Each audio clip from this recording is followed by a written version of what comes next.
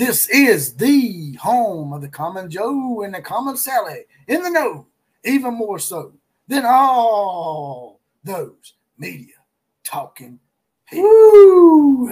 You know, it's going to take off a few weeks. That's going to refuel the jets a little bit. But as they do, the common Joes and the common sellers in the know put me in the know and give me a little something that I just couldn't pass on. Eric Taco Marino give me a little nugget about a guy by the name of Trent Wilson that just committed to Oklahoma, an out of state guy. And there's nothing really over extraordinary about Trent Wilson except the fact that the connection that he has with Oklahoma to a certain someone else that put their foot in their mouth quite profusely. And I made a promise that every time something comes up that sort of calls them out, going to call them out. So let's talk about it.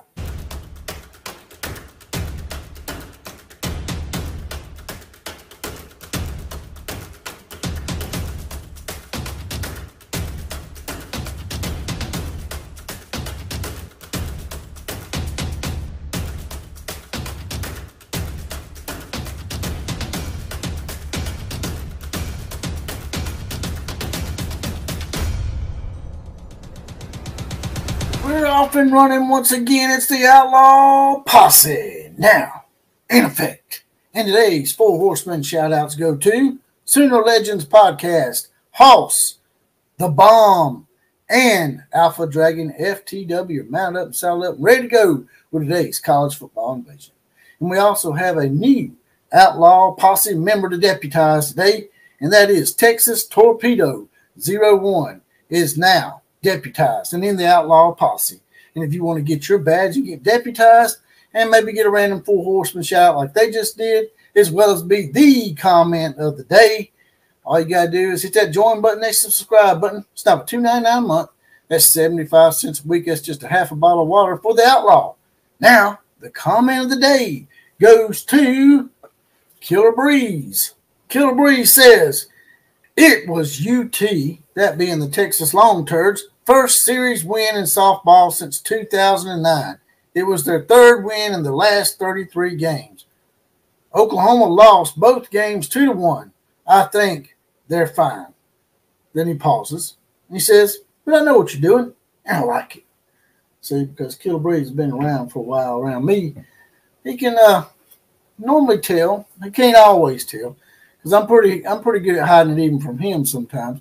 But it was a little sarcasm and a little poke at some of the Oklahoma fans who were in a little bit of disarray because the Oklahoma Sooners softball team finally lost a series to somebody.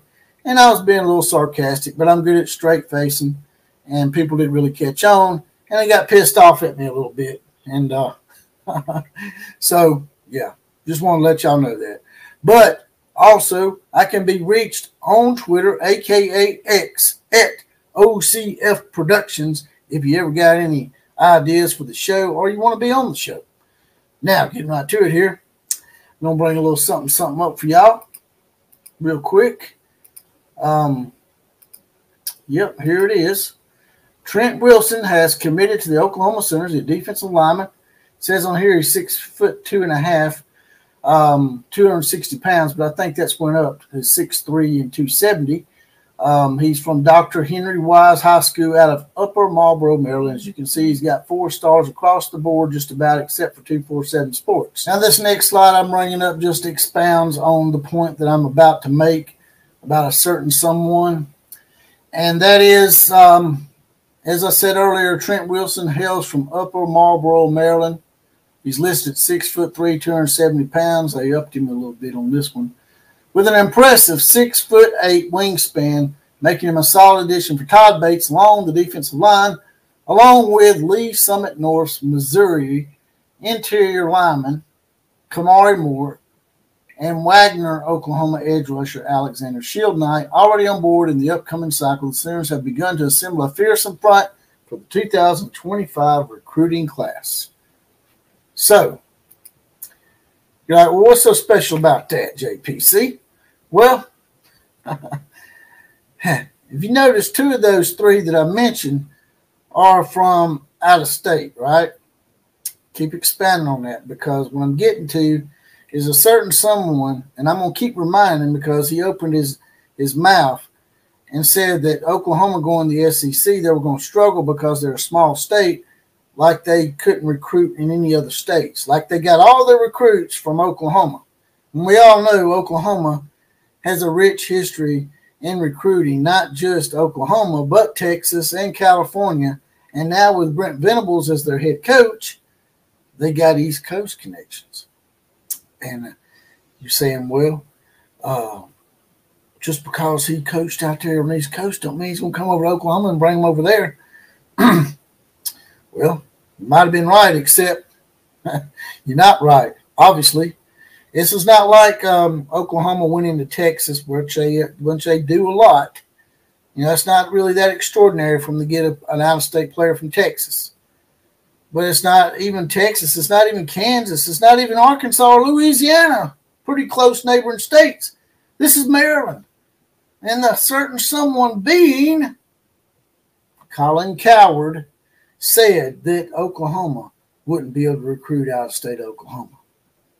And yet they've got recruits from Missouri, Maryland, Texas, California, Florida, Carolinas.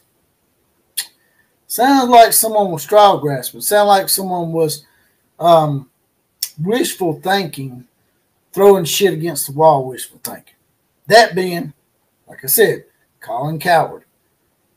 And uh, that's because Colin Cowherd, he is a pretty much got a man crush on Tebow, that being Linky Boy, aka Lincoln Riley. I do believe that he'd be first in line for a tea bag from Lincoln Riley if he could get one. And now it's just like every year that Brent Venables is there, I'm sure that in the back of his mind, Colin Cowherd really, really has a big disdain for Brent Venables because he has pulled his skirt down repeatedly for the last three years.